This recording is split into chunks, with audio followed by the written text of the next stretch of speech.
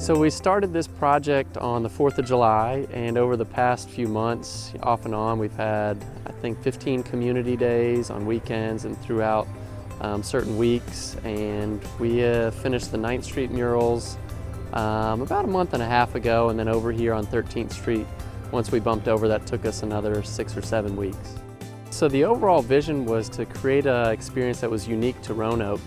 in terms of what uh, art has looked like and what it can look like for our area. And we were able to incorporate, like I said, 10 to 15 um, different mural days where we were able to invite a certain number of people over to the mural and be able to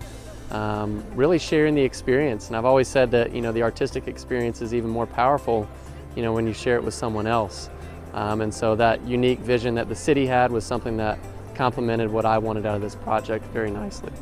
So if you look at the murals, both 9th Street and over here on 13th Street, we did have uh, streets of uh, Southeast and downtown Roanoke that are featured within the murals so people can come pick out and see you know, where they live, what street they might live on, since it is something that I wanted to be engaging to the community. Um, besides that, we had imagery from the Greenway, um, local wildlife, uh, dragonflies, fireflies, green herons, um, cedar waxwings, all sorts of birds and, and wildlife you'd see here on the Greenway, just to bring that extra touch of joy to an already beautiful space.